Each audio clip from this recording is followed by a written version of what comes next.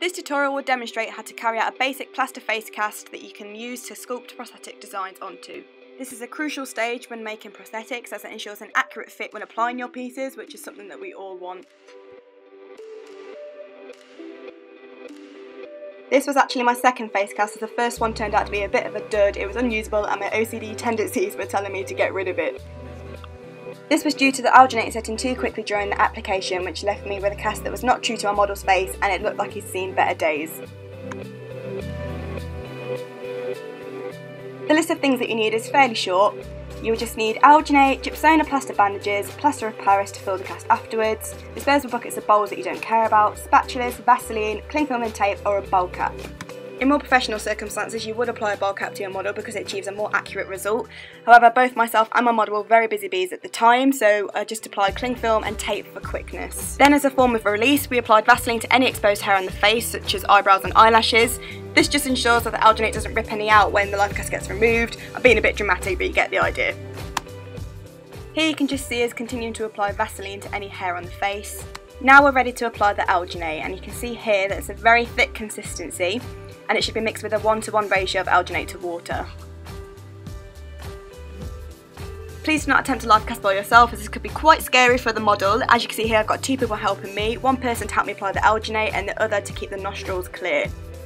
Once the alginate is set, it takes on a rubber consistency, and I forgot to mention before, but if you apply Nivea cream to your hands beforehand, it makes the alginate peel straight off. When applying the plaster bandage, you want to build up a thick layer around the outside of the face as this creates a strong frame for your cast and prevents your cast from warping, which trust me, has happened to me more times than I'd care to admit. Warping is what happens when the plaster manages to seep through in between the alginate and the plaster jacket, which can make your final cast look very weird.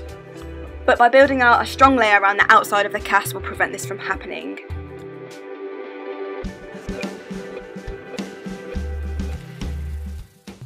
Continue to apply the plaster bandage in a variety of thicknesses and widths until you are happy with the thickness of your overall plaster jacket.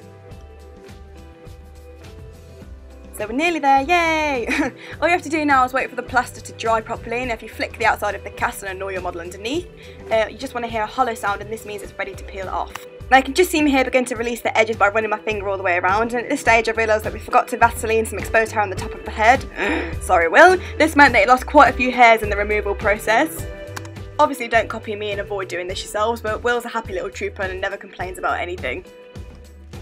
Once the life cast has been removed, you can apply a layer of plaster bandage over the nostrils so that the plaster doesn't leak out all over the place when filling your cast.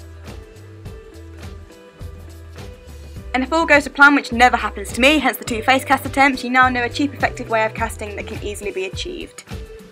Now you can go off and be creative little bunnies and sculpt whatever you want with the reassurance that your prosthetics will completely conform to your model's face. So thanks very much for watching, hopefully I didn't make too much of a tat of myself making my first video. Uh, I'll put all the links as to where you can buy all of the materials used in the description box below. Bye!